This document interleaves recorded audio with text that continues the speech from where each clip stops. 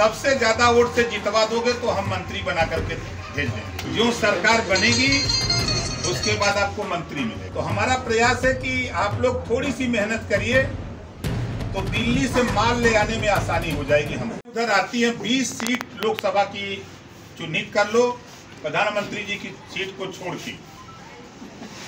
सबसे ज़्यादा वोट से जितवा दोगे तो हम मंत्री बना करके भेज देंगे। आप समझ सकते हैं। अब वैसे भी पार्टी कोटा में तो है ही है। है कि नहीं है? हम जुगाड़ बहुत सही बैठा है। तो हमारा जुगाड़ एकदम सटीक है। तो आपको एमपी नहीं मिलेगा। जो सरकार बनेगी, उसके बाद आपको मंत्री मिलेगा। हम अपने सभी प्रधान साथीगण जो आए हैं, जो नहीं आए हैं, पूरे घोषी लोकसभा की, चाहे वो पक्ष के हों, विपक्ष के हों, किस दल के, हमसे उससे नहीं मतलब। वो प्रधान है तो हमारा प्रयास है कि आप लोग थोड़ी सी मेहनत करिए तो दिल्ली से माल ले आने में आसानी हो जाएगी हमको। बहुत साफ़ बात देखिए भाई, हम बोलते हैं झूठ झपाट नहीं बोलते। भाई, हुआ आदमी रहेगा एगो, हम यहाँ से प्रस्ताव बनवा करके सीएम से या अपने विभाग से हम भेज देंगे।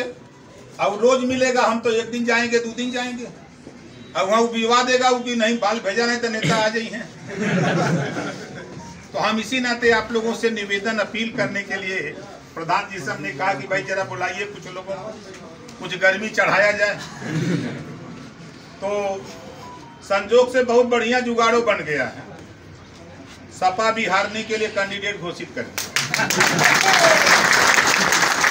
चौदह में लड़े थे। जिंदाबाद।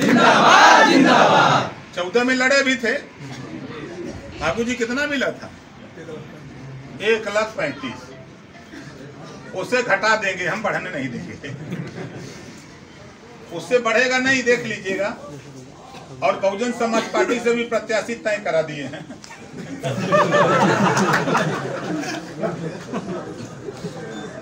सपा की गले की फांस बना दी अब आप समझ गए हो गांधी जी, जोरदार ताली हो जाके गांधी जी का